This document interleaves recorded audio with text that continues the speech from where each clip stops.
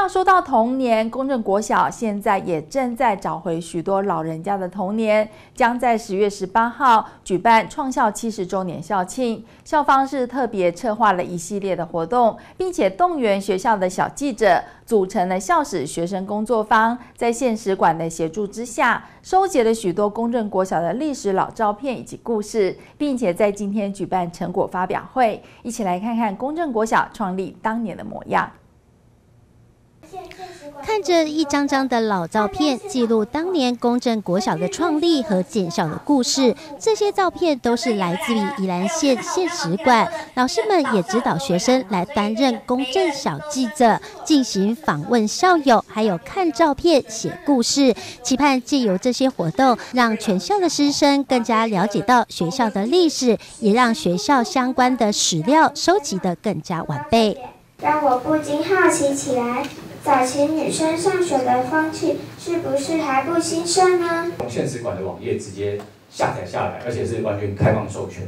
那彰化老师们就不用为了准备这些课程花很多时间去找在地的资料。那这份这这部分资料也是现实馆把菜准备好，帮老师准备好，老师可以自己下载下来，然后作为自己教学的使用。那让每个老师去在课堂上去发挥他的个人的创意。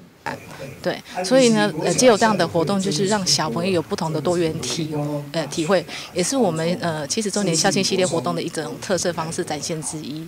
对，就是由小朋友来带动整个校史，对，呃，学校有更深一层的研究，不要只停留在校史，永远是比较资深校友的回忆。希望小朋友也能进入到这个世界，沉浸在学校的历史里面。另外，还有校友邱哲峰老师对公正国小的校歌来进行改。编，并且捐赠给母校。邱老师将校歌带入现代的流行元素，有摇滚版，还有抒情版等等。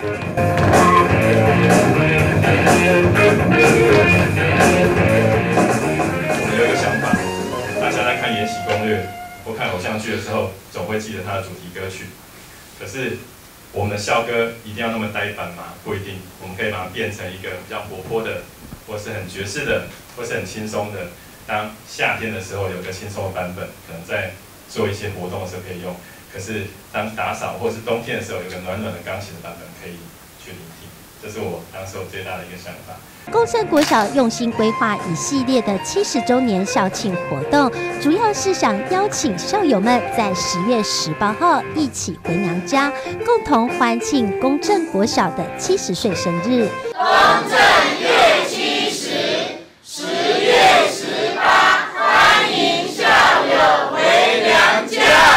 记者蓝夏如采访报道。